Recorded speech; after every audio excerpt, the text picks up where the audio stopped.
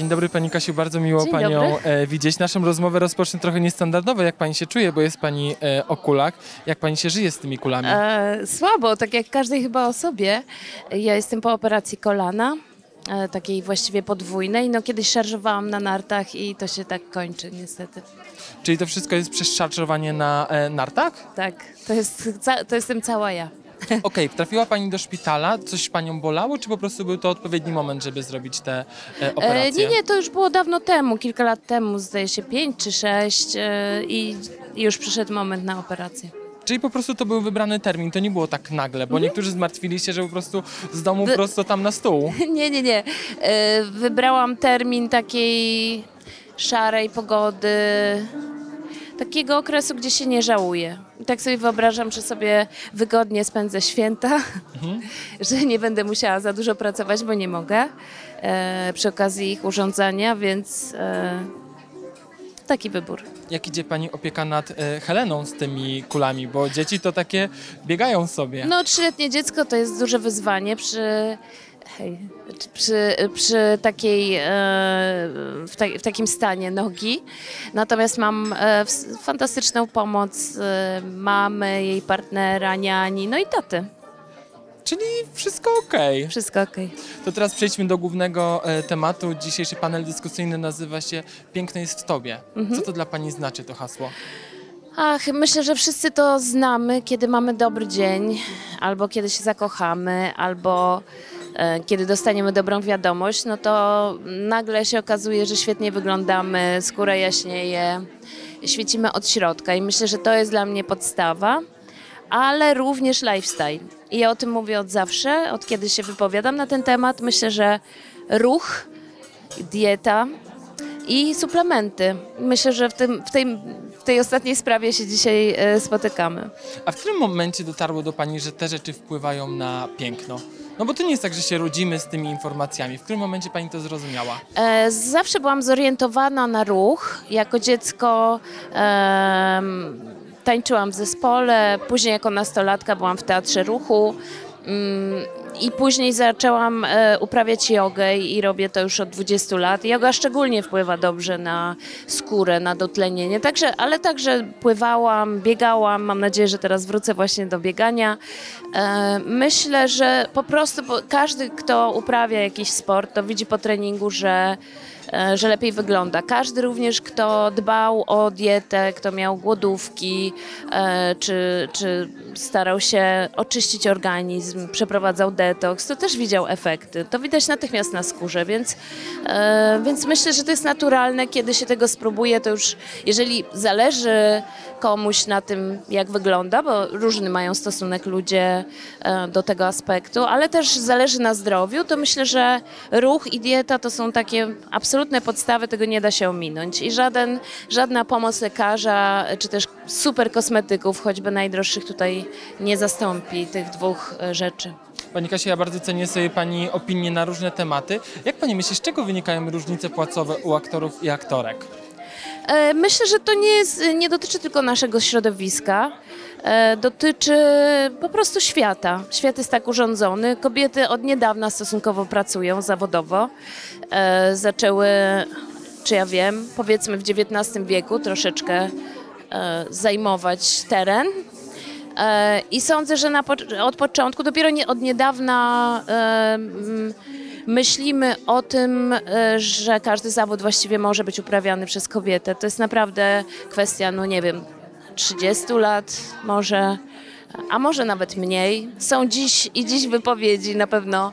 em, Wielu z nas ostatnio widziało te wypowiedzi, że nie wiem, jakiś ksiądz ambony krzyczy, że kobieta na traktorze to jest coś niedobrego, że sobie tego nie wyobraża.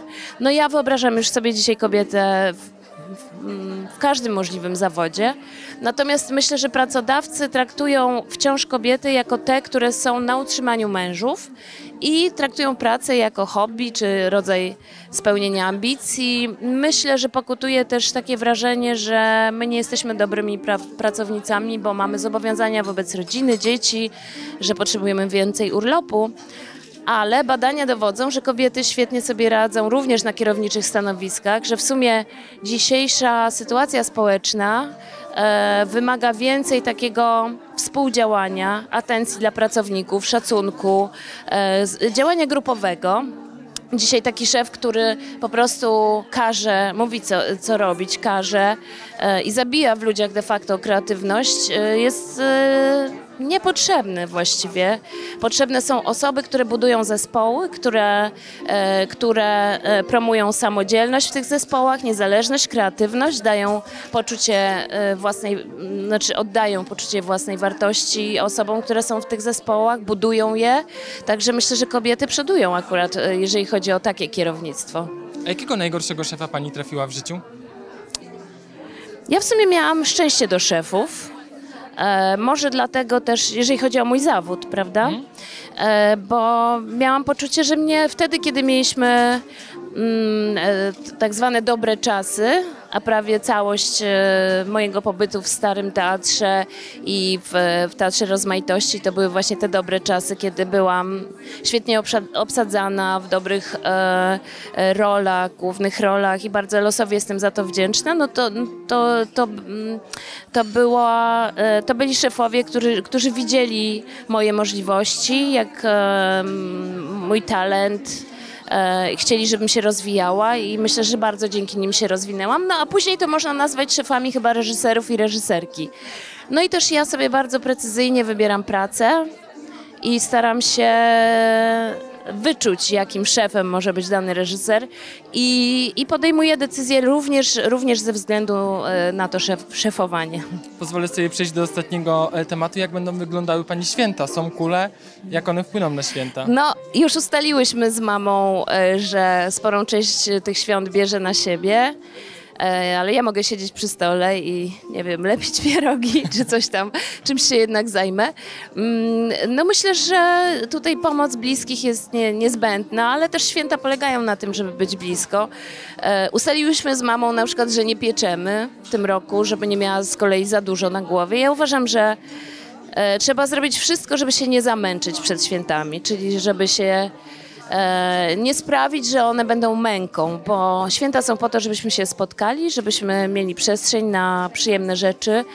A kiedy szczególnie właśnie kobiety przysiadają do tego stołu bardzo zmęczone, no to myślę, że tutaj cała konstrukcja pada tego, tej przyjemności i tego bycia wspólnego, bo to jest potworny wysiłek jednak wziąć wszystko na swoje barki. Także Myślę, że każdej kobiecie należałby się taki czas choroby, jak moja, żeby zrzuciła na, na resztę rodziny część obowiązków. Także myślę, że będą panie, które będą mi zazdrościć, że mam właśnie chorą nogę. A jak Helena spędzi te święta, to będą święta w dwóch domach czy w jednym? E, No tak, to e, myślę, że to, to jest kłopot e, wielu rodzin patchworkowych, a taką się właśnie stajemy i myślę, że spokojnie da się to połączyć. E, Zawsze tutaj jest najważniejsza relacja pomiędzy rodzicami, którzy się rozstają i, i staramy się, żeby była jak najlepsza. A co pani sądzi o ponownym powrocie? O takich powrotach do związków? O, nie jestem za tym, choć e, ostatnio poznałam parę, która się e, ponownie e, połączyła po wielu latach. Czyli rozstali się, mają dorosłego syna i teraz są razem i, i są szczęśliwi, choć słyszałam, że ten syn trochę narzeka, że te konflikty, które były kiedyś, nadal funkcjonują. Więc wydaje mi się, że mm, żyjemy już troszeczkę w innym społeczeństwie. Myślę, że to nie była kwestia romantyzmu, że kiedyś te e, małżeństwa trwały tak e, do końca, ale też względów praktycznych. Także to jest też kwestia zobowiązań, możliwości finansowych, ale jestem raczej za tym, żeby doceniać e, ten czas, e, który się przeżyło i cieszyć się tym, że, że to się udało. Cieszyć się przede wszystkim owocem, czyli na przykład dzieckiem i nie popsuć do końca. Po moim pytaniu od razu powiedziała pani, nie jestem za tym. Dlaczego? Raczej nie, nie, nie zdarzyło mi się. Zdarzyło mi się raz wrócić i to było błędem. Oczywiście ja, ja dopuszczam wszystko, natomiast raczej uważam, że e, rozdziały zamknięte należy pozostawić zamkniętymi. Ostatnio pojawiły się państwa zdjęcia w internecie, czyli, czyli ta relacja jest poprawna, prawidłowa. Tak, proszę się nie martwić. Dziękuję bardzo i życzę Dziękuję. miłego panelu. Dziękuję.